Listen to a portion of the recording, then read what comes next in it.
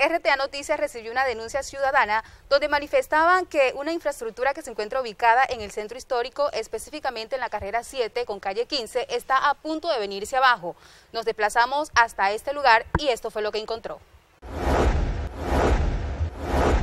Una vivienda con fachada completamente deteriorada y con grandes grietas pudo captar el lente de RTA Noticias, la cual se encuentra en una de las calles que conforman el reconocido centro histórico de la ciudad.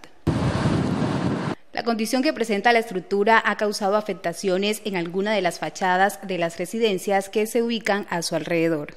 Algunas personas que habitan al lado de esta construcción manifestaron su inconformidad y molestia por la situación en la que se encuentra, entre ellas una institución de educación superior. Los administradores manifestaron su molestia. Estoy exhortando a que el municipio o los encargados vengan acá a ver esta casa que está en, completo abandono y que está afectando eh, eh, el entorno de nuestra calle 15. La ciudadanía también se manifestó ante el panorama evidenciado de la construcción que algunos consideran como factor de riesgo para las personas que transitan por el lugar. Esta situación la veo grave porque pasan muchas personas por aquí y puede causarles un daño. El llamado es que los entes encargados actúen rápidamente antes de que esta obra se venga abajo y ponga en riesgo la vida de alguna de las personas que frecuentan este lugar.